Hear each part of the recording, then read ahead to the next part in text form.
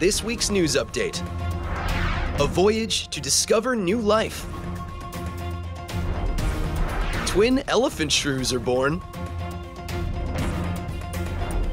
And Ozmo, the robot window cleaner. First up, throughout history, scientists have set sail to discover new ocean life.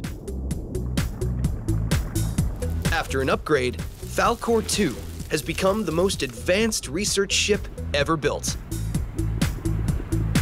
Now, scientists have set out in it to find undiscovered life in the deep sea. They hope to reach depths that human divers can't by using SuBastian, the ship's remote submarine. So far, SuBastian has helped scientists discover over 50 new and rare species, including Elvis worms and the glass octopus. And now, they hope SuBastian will discover even more.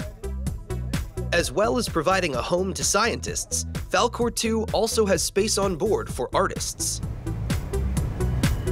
It is hoped that when these artists share their work, more people will get to know about the voyage's research. What discoveries do you think these scientists and artists will bring back from the deep?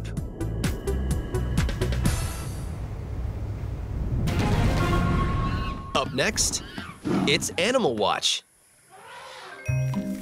Sengis are more widely known as elephant shrews due to their long, trunk-like snout. They are incredibly fast and can outrun many animals, despite their small size. They are usually found in Africa, but Europe's biggest elephant shrew colony is in Vienna Zoo, and they recently welcomed twins. Elephant shrews mate for life and can be picky when choosing a partner, so the zookeepers were particularly pleased to welcome these twins. They're each around the size of a ping pong ball, but won't stay this size for long. After just four weeks, they will be the same size as their parents. However, even then, the speedy little elephant shrews will still be smaller than the average smartphone.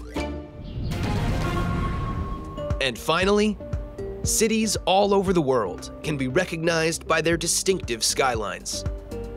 But have you ever wondered how these tall buildings are kept clean? Usually, window cleaners brave the dizzying heights and clean the windows by hand. But now, scientists have created Ozmo, the window cleaning robot.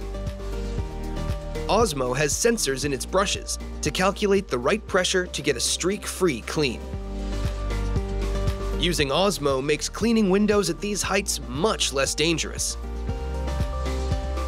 By adding cameras to robots like Ozmo, Scientists hope that one day they will also be able to scan buildings for cracks and leaks as they clean. That's all for this week. We'll see you next time.